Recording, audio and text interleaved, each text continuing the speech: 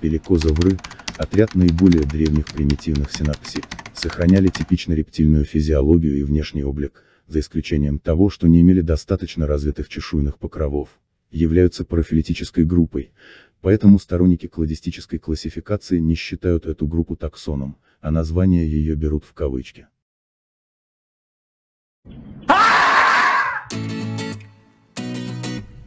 Никогда такого не было, и вот опять. Привет, друзья! Это Даниил и канал «Помни о предках». Пока я, по просьбам трудящихся, готовлю большой проект о наших ближайших родственниках, некоторые товарищи продолжают цитировать статью отечественной Википедии о пеликозаврах. Ну что ж, давайте наконец разберемся, кто это такие и что с ними не так. Поехали!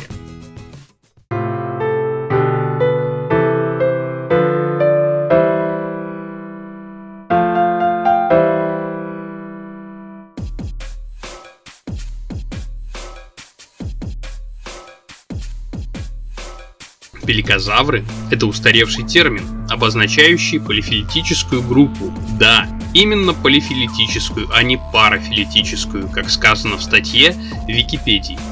Так как пеликозавры включают в себя несколько довольно разных таксономических групп, которые ранее большинство исследователей относило к кладе синапсиды по вполне конкретным признакам, как одно височное окно и пусть и небольшая, но дифференциация зубов. Однако, более детальные исследования, проведенные еще в 80-х-90-х годах 20 века советским и российским палеонтологом Михаилом Феодосевичем Ивахненко, выделившим три из пяти групп пеликозавров в отдельную кладу афиокоморфы. Исследование было частично подтверждено в 2012 и 2018 годах американскими учеными Роджером Бенсоном и Дэвидом Фордом. Итак, давайте все-таки в трех словах о самих пеликозаврах. В группу принято включать следующие таксоны. Афиокодонты, варанопсииды, казеидозавры, эдофазавры и сфенокодонты. Последние два таксона – это типичные синапсиды, о коих обязательно будет сделан отдельный ролик. А вот оставшиеся к синапсидам относятся только по устаревшим данным. Все дело в том, что отличительные черты в виде височных окон хороши только при поверхностном исследовании но если копнуть чуть глубже, то разница все же есть. Афиокоморфы отличаются от терапсид отсутствием у первых субапсидальной вырезки и периангулярной полости на угловой кости, а аддукторная полость у них отделена эпиптериковой щелью от латеральной стенки мозговой коробки.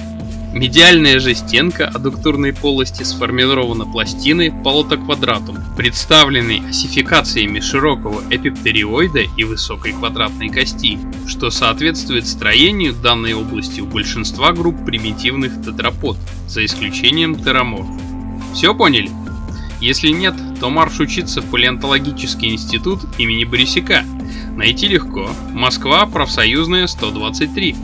Ну, а если чуть проще, то у терапсид, то есть наших с вами предков, маркирующим признаком является отсутствие контакта между скуловой и квадратно-скуловой костями, что связано с образованием височного окна в районе стыков скуловой, чешуйчатой и квадратно-скуловой костей, что принято считать довольно примитивным признаком строения черепа. Кстати, квадратно-скуловая кость вместе с костями нижней челюсти в ходе эволюции поучаствует в создании одной из отличительных черт млекопитающих – среднем ухе. Бенсон и Форд в своих работах подтвердили исследования Ивахненко, по крайней мере относительно афиокодонтов и варанопсиидов. Что же касается казиидозавров, то с ними на данный момент нет ясности, ну или я об этом не знаю. Хотя Ивахненко относил их также к афиокоморфам. Самих же афиокоморфов Михаил Феодосевич допускал к близким родственникам архозавроморфов, то есть к завропсидам, обуславливая это тем, что височное окно синапсидного типа, первично ограниченное заглазничной, чешуйчатой и скуловой костями, имеет тенденцию разрастаться по всей щеке, доходя до квадратно-скуловой кости, что топографически соответствует строению нижнего окна у диапсид, а так как не доказано первичности появления у диапсид верхнего окна, то нижнее окно является первичным субапсидным для всех групп амнион. И в данном случае наличие лишь синапсидного окна может означать принадлежность афиокоморфов к примитивной группе, близкой к диапсидам, до появления верхнего височного окна. Ну и насчет рептильной физиологии. Она и у заврапсид, и у синапсид не рептильная, а амфибиоидная так как обе клады приобрели ее от общего земноводного предка. И даже если вы посмотрите на современных амфибий, то за эти миллионы лет ничего в данной части строения тела не поменялось. Давайте все-таки отталкиваться от первичности появления тех или иных признаков. Итого, мы получаем совершенно разнородную, то есть полифилетическую группу животных, крайне далеко находящуюся друг от друга в родстве, но все же с некоторыми очень похожими признаками. Но несмотря на эти исследования и научно-популярные работы, в том числе и мои, еще находятся люди, считающие верхом информативности отечественную Википедию. Нет, там, конечно же, тоже встречаются вполне приличные статьи, но информацию и ее актуальность, прежде чем цитировать в открытую, все же стоит проверять, используя более достоверные источники. Ну а на сегодня это все. Мыслите критически, не бойтесь аргументированно спорить и всегда оперируйте фактами.